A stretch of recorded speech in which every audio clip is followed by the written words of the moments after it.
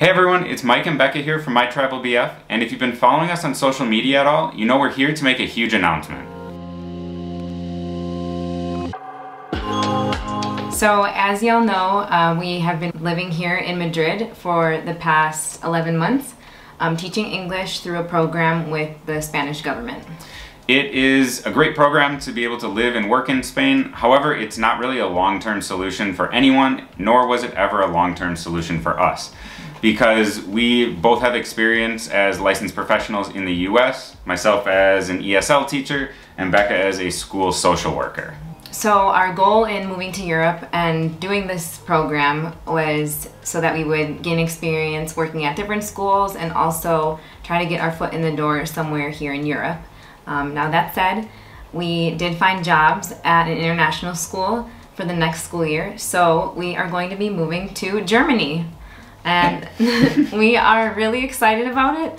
Um, so Mike is going to be an ESL teacher and I'm going to be a school counselor and we um, you know as much as we love Madrid and have loved living in Spain um, we're really excited to be doing what we what we want to be doing in our life and so. what we're trained to be doing and have experience doing instead of being language assistants in the classroom. In about two weeks, we're actually going to be leaving Madrid mm-hmm. um, and moving to Germany. We're going to be driving there with Churro. Mm-hmm. So that'll be a little bit of an adventure.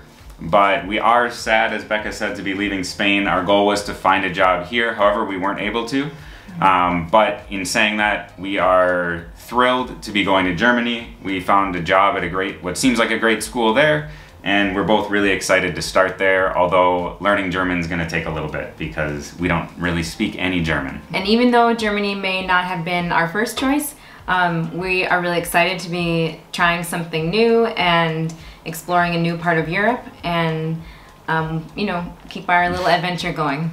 Yeah, so while the language will be different, the culture will be different, I feel like we, we really immersed ourselves in the Spanish language and culture here mm-hmm. and have both improved our Spanish and learned a lot about the culture through local experiences and meeting people.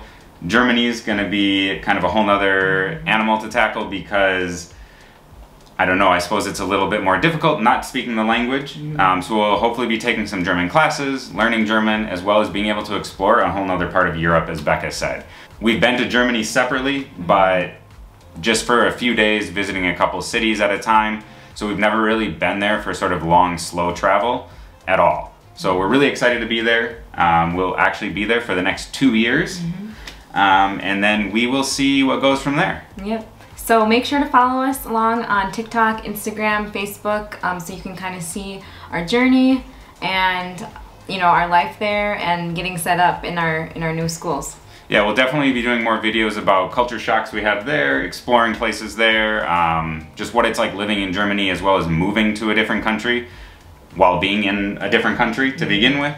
And also, if you have any tips, tricks, um, advice, anything about German or Germany or moving to a different country when you're already in a different country, please let us know, share those with us. It's the first time for us, so we're always happy to learn from other people who are more experts than we are. Mm -hmm. um, obviously, we hope to become experts in Germany and learn a lot about the country and culture, but we don't really know anything right now. So please share those with us. Um, if you're in Germany or you've been there before, we'd love some local tips, local experiences, so we can check those out when we're there. Mm -hmm.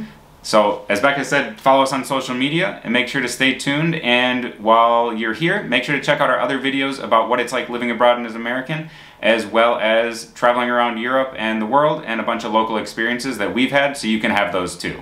We'll see you over at our other videos. Bye!